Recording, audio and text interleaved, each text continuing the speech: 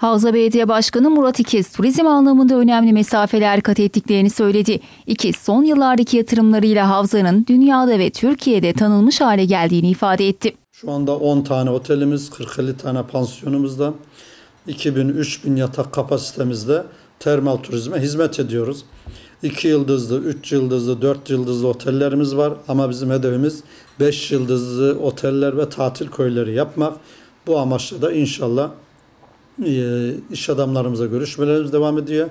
E, Bu sene inşallah 5 yıldızlı otelin ve tatil köylerinde temelini atarız.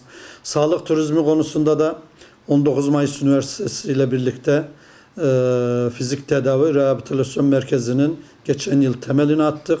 Bu yıl inşa, inşallah inşaatı devam edecek. 150 yataklı hastanemiz önümüzdeki yılda açılacak. Ve yine 100 yataklı devlet hastanemizde şu anda inşaat çalışmaları devam ediyor. O da önümüzdeki yıl açılacak. Yani Havza'da 100 yataklı devlet hastanesi, 150 yataklı fizik tedavi hastanesi ile sağlık alandaki yatırımlarımız tamamlanacak. İnşallah önümüzdeki yıllarda bizim hedefimiz en az 5 tane 5 yıldızlı otelin ve tatil köylerinin olması. Bunlar da olduktan sonra havza e, terma sağlık ve termal turizmde de Karadeniz'in Kızılcahamam gibi, Afyon gibi inşallah termal turizm merkezi olacak. Bu yolda çalışmalarımız devam ediyor.